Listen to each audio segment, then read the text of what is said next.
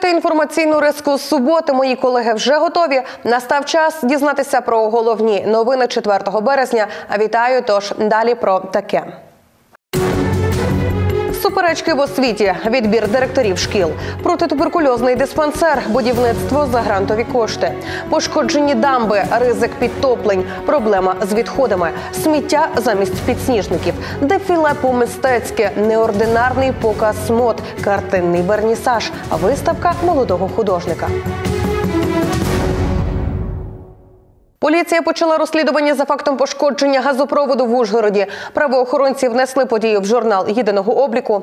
Нагадаємо, вчора близько 17-ї години під час несанкціонованих робіт за готелем Ужгород пошкодили газопровід середнього тиску. Через це 22 вулиці Ужгорода були без газу. За ніч газопровід полагодили і сьогодні його обімкнули.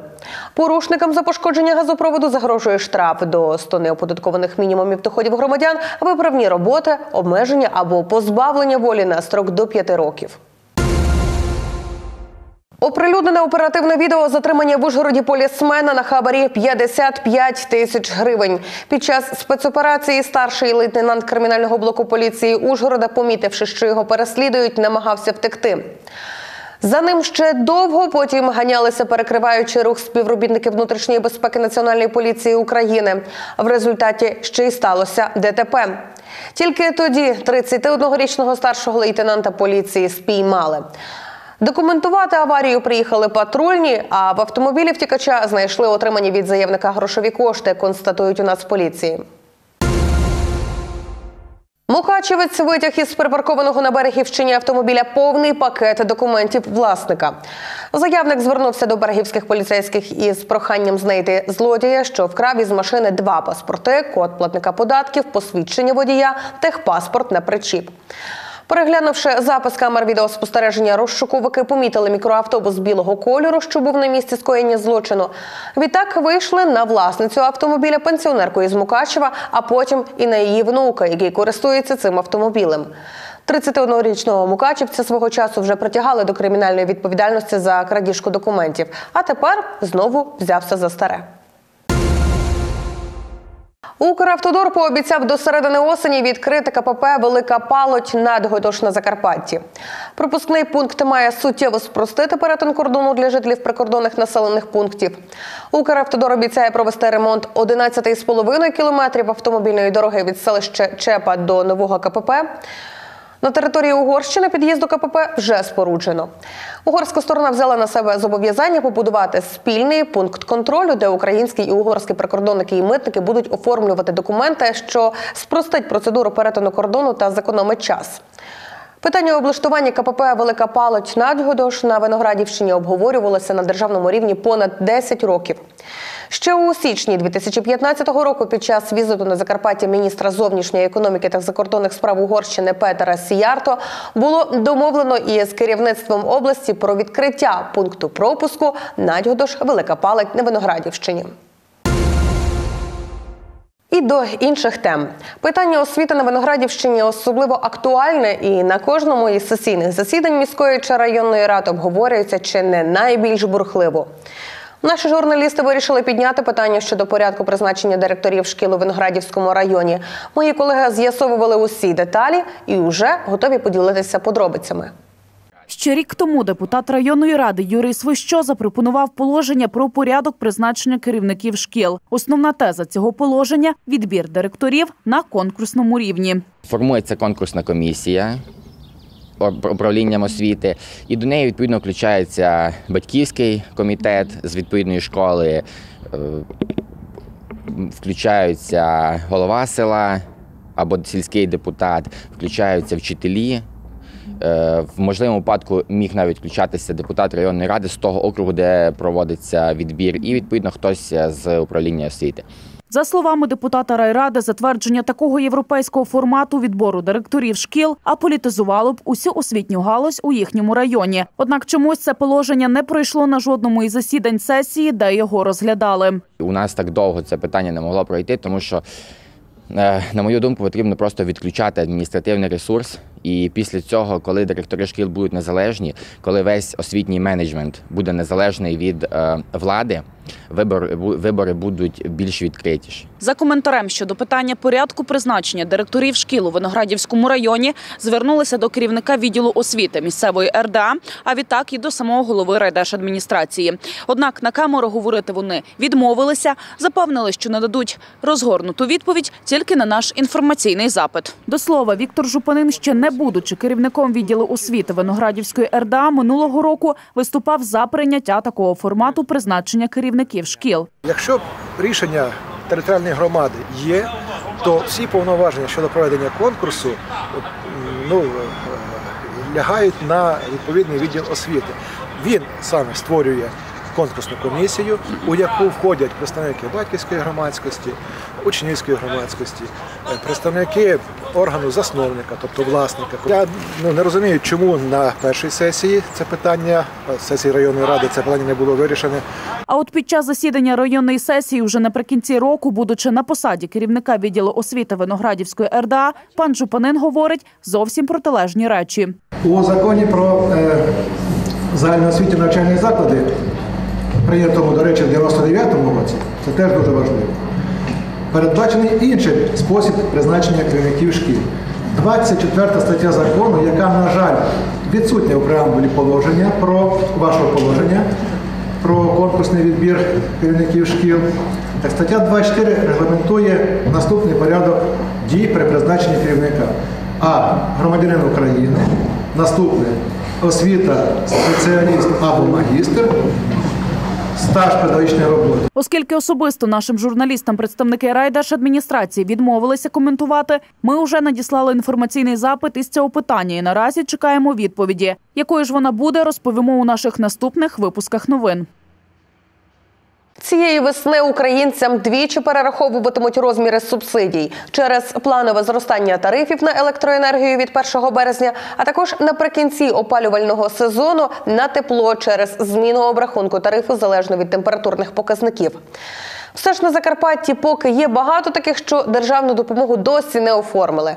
Хоча в управлінні праці та соцзахисту кажуть, зараз найкращі умови для їх отримання.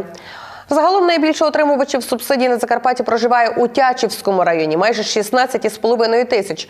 Далі йде Виноградівщина, 14 тисяч 200 осіб. Найменше субсидіантів зареєстровано на Рахівщині.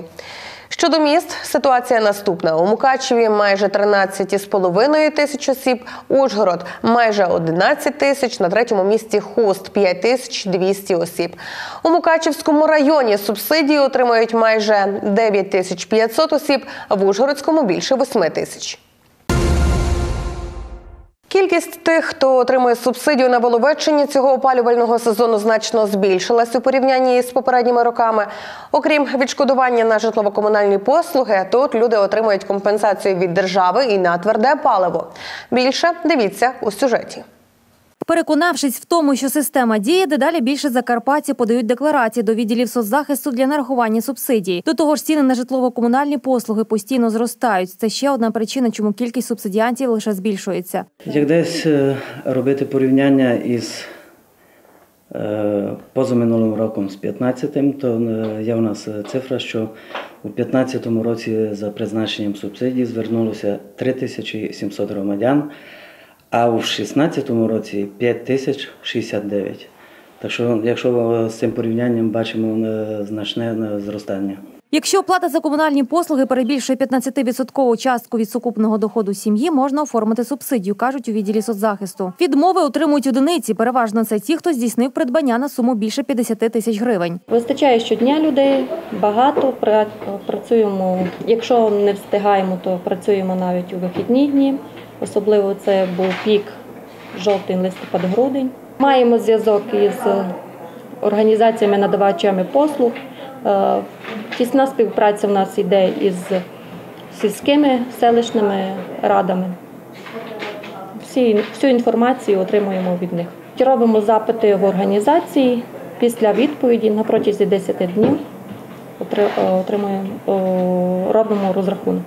Окрім відшкодування на житлово-комунальні послуги, тут люди отримують компенсацію від держави і на тверде паливо, адже на Воловеччині є негазифіковані села, де селяни опалюють свої будинки лише дровами. Е, На придбання твердого палива е, звертаються люди щорічно. А вже на е, житлово-комунальні господарства на цьому році 281 особа звернулася. То вони вже не звертаються. Їм вже, якщо десь є ріст цін на електропостачання, на газопостачання, то робляться відповідні перерахунки уже без участі заявників. Люди позитивно ставляться до можливості відшкодувати хоч частину оплати за комунальні послуги. Працюють і чоловік, і син, і мають е, гарну зарплату, так що нам не виходить субсидії. Ціни повиростали, і діло в тому, що е, як вам сказати, є багатодітна сім'я, наприклад, якби не та субсидія, то я навіть не знаю, як би вони тут платили. Тож цілком можливо, вже наступного опалювального сезону кількість тих, хто звернувся для нарахування відшкодування за житлово-комунальні послуги, сягне 100%. Ще 3 мільярди гривень на програму енергоефективності нададуть міжнародні організації. Як повідомляє прес-служба Кабміну, у бюджеті на 2017 рік закладено 800 мільйонів гривень на компенсацію за програмою теплих кредитів. Додатково передбачено співфінансування у розмірі 3 мільярди гривень від міжнародних організацій для реалізації програми енергоефективності. За два роки видано 164 тисячі теплих кредитів на 2,5 мільярди гривень. Держава компенсувала 800 тисяч гривень. Це компенсація з боку держави частини коштів, витрачених на модернізацію теплопостачання, утеплення будівель і будинків. Повідомив міністр регіонального розвитку, будівництва та житлово-комунального господарства Геннадій Зубко. На Закарпатті за час дії програми краяни отримали близько 800 кредитів на придбання альтернативних газових котлів, а також 3800 кредитів на енергоефективне обладнання та матеріали. Ми видали кредитів на півтора по порядка півтора тисячі, і знову ж таки загальна сума 28 мільйонів. Варто додати, що уряд продовжив дію програми теплих кредитів на 2017 рік. Також у Кабміні розширили перелік банків-учасників програми. Тепер теплі кредити можна буде отримати в Ощадбанку, в Укргазбанку, Укрсімбанку та Приватбанку. Саме основна трудність це людський фактор, тобто не технічно відпрацювати банк ОСББ, а коли збираються мешканці будинків для того, аби їх переконати, що це добре, що дійсно є компенсація, і слава Богу, ми маємо зараз один позитивний досвід, і вже е, керівники ОСББ між собою спілкуються для того, щоб все-таки переконати мешканців для того, аби все-таки йти в цю програму і нормально користуватися. Закарпатській області, як і в цілому по Україні, ситуація із захворюваністю на туберкульоз напружена. 59 випадків у минулому році проти 55 у 2015-му на 100 тисяч населення. Відмічається і зростання захворюваності у дітей. Для того, аби покращити невтішну статистику, в області прийнята цільова соціальна програма на 2017-2021 роки. Із цих коштів на поточний рік на профілактику, діагностику та лікування недуги передбачено виділити 6 мільйонів гривень. Фінансує протитуберкульозні програми і Євросоюз. У рамках такого проекту на Тячівщині будують протитуберкульозний диспансер. Коли запрацює заклад, розкаже Ірина Ковальчук. Будівництво протитуберкульозної лікарні у Нижній Апші розпочали у 2010 році на території Тячівського районного протитуберкульозного диспансеру. Наразі стан готовності близько 40%. Лікарня розрахована на 100 ліжок, боксована система сучас- сучасного типу. Тобто кожен бокс розрахований на 5 ліжок. В одному, в одному приміщенні 2 ліжка, в іншому 3 ліжка. На цих 5 хворих окремо санвузол е, з душовою кабінкою, все як повністю всіма зручностями. Багато дуже передбачено е, згідно інфекційного контролю для медичного персоналу, тобто по, е, е, з хворими контактувати менш, менше часу. Після будівництва нової лікарні старий корпус на 50 ліжок, який лише пристосований для лікування хворих на туберкульоз, планували ліквідувати, а заклад реорганізувати. І тільки у 2017 році Довгобуд отримав шанс на життя, а пацієнти на гідні умови перебування та якісніше лікування. Обласне клінічне територіальне медичне об'єднання «Фтизіатрія» виграло пілотний проект. Проєкт розрахований е, на добудівлю на добудівлю даного на завершення будівництва даної лікарні, введення її в експлуатацію, плюс е, придбання обеличного обладнання, плюс санітарно-просвітня робота, методичні е, посібники. І для району це буде великий плюс, тому що всі надходження будуть йти в бюджет району і дасть можливість працевлаштування декілька десяткам людей. Подолання епідемії туберкульозу на прикордонних територіях Білорусі, України та Польщі. Таку назву отримав інфраструктурний проект, який фінансуватиметься Євросоюзом. Бюджет сягає 6,5 мільйонів євро. Із них мільйон це польська сторона, 5,5 мільйона це українська сторона, це Закарпаття, в тому числі 10% це співфінансування з обласного бюджету. Основним грантоотримувачем цього проєкту є Департамент охорони здоров'я Закарпатської державної адміністрації. Е, Департамент охорони здоров'я це є обласна структура. І для того, щоб у нас не було ніяких перепон в реалізації нашого проєкту, потрібно було, щоб будівлі, в які будуть вкладатися в кошти у АПШі і також земля, вони були в обласному підпорядкуванні. 21 лютого на сесії Тячівської районної ради депутати прийняли рішення щодо передачі майна та землі протитуберкульозного диспансеру у Нижній Апші на баланс обласної ради. Ми розуміємо, що всі працюємо на Тячівщину. Якщо вони готові вкласти кошти, то депутати проголосували.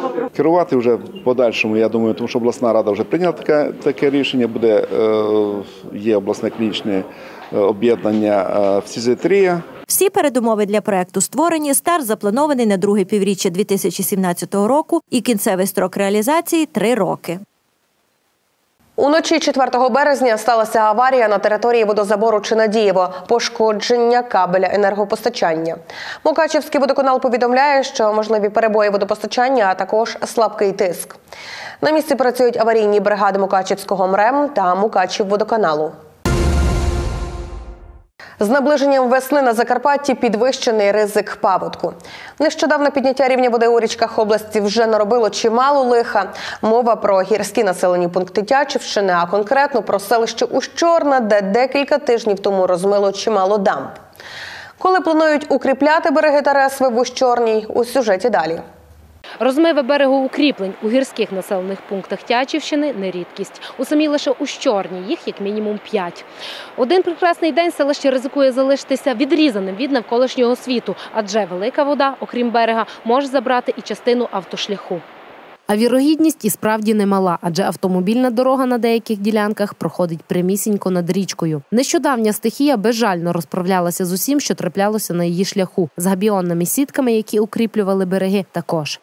Це що паводок пошкодив, там габйонні сітки стояли, ну то вода тут така йде, що тут не допомагає нічого. Ми там аварійні бригадами, смереки боляли великі, старалися від воду відбивати. Ну що змогли, змогли, що не змогли. Вода настільки силу має, що боротися з нею важко. Хоча вище згадані габіонні сітки у цих випадках не дієві. Вода несе купи непотребу, зламаних дерев та подеколи крижаних брил, які розривають ці укріплення і виходить лише гроші на вітер. Однак, перш за все, потрібно розпочати регуляцію течії річки, переконаний селищний голова. Дуже багато вже можна сказати, посередині річок зробилося багато островків таких маленьких. Оці островки треба все розсувати. Коли буде регуляція річки, така вода не буде мати силу розмивати дороги, хати і топити населення. Всі, хто проїздить через Усть-Чорну, не може не звернути увагу на міст, який знаходиться в селищі. Складається враження, що його частину знесла стихія. Однак місцеві житлі кажуть, переправа була добудована минулого року. Щоб укріпити тут берег, течію Тересва кинули лівіше. Таким чином це дозволило уникнути підмивання берегу цьогоріч і розлиття водойми у цьому місці, яке зі слів ущорнянців завжди перебувало у зоні ризику. На 98-му був найвеликий паводок тут у нас. Ну, вода тут виходила внизу, метрів 200 звідси виходила повністю на вулицю, що затопило дома тут. Десь три, три дома у нас повністю знесла річка. А тепер не було такого страшного, тут у нас нічого. Щодо берегоукріплень, то проектно-кошторисну документацію на їхній ремонт вже виготовили. Вартість реконструкції немала, проте надії на виділення коштів є. Переконаний селищний голова. 12,5 мільйонів на береукріплення ці. Тому що розмиви дуже великі. І розумієте, робити, що тільки взяти, засипати е, гравієм, то не виход. Якщо робити, то треба зробити так, щоб то хоча б витримало тих 10-15 років. Хоча дамба може зробитися, і якщо зробити на 100%, має робитися взагалі надовго. Варто зазначити, що аналогічна ситуація з берегоукріпленнями ще в деяких населених пунктах Тячівщини, Калини, Красна, Ганичі, Буштині та інших. Зважаючи на прогнози синоптиків, цьогоріч паводконебезпечна ситуація зберігається. Тож чи вдасться їм уникнути наслідків стихії питання. Паводкова хвиля завжди залишає за собою купи сміття. Проблема із відходами актуальна майже усюди. І після танення снігу, як підсніжники навесні, з-під землі з'являються на узбіччях доріг використані пляшки, обгортки від цукерок, поліетиленові пакети тощо. Такі краєвиди не надто ваблять закарпатців та гостей краю. Така ж картина і на Хущині. Вікторія Василинець далі розкаже більше. Сміттєвій проблемі Хущини не один десяток років, і вона актуальна наразі.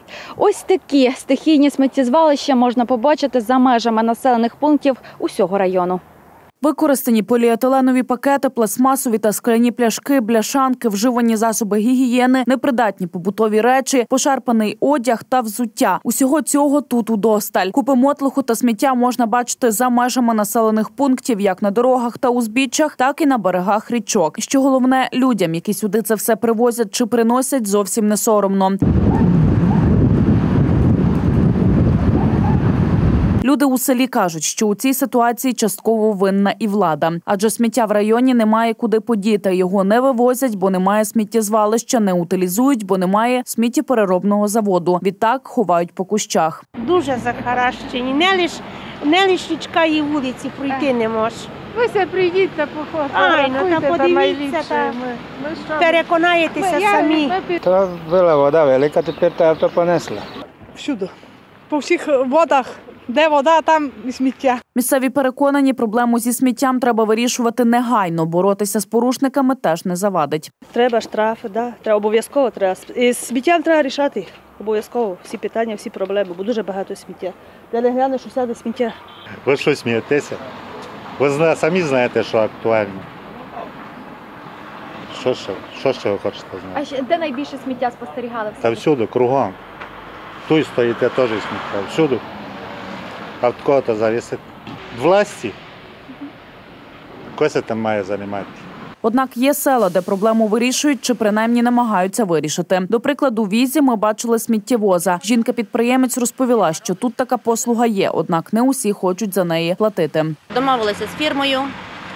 Фірма робить кожен другий тиждень, кожну п'ятницю вивозять 50 гривень для нас, для підприємців, а 40 гривень для будинку. Теж зовсім небагато, я вважаю. Замість того, щоб куди не поїдеш, тепер по дорозі їдеш весна. Зима прийшла, кругом купи сміття. Такий мальовничий край Закарпаття, а такий сміттям захламічений дуже погано.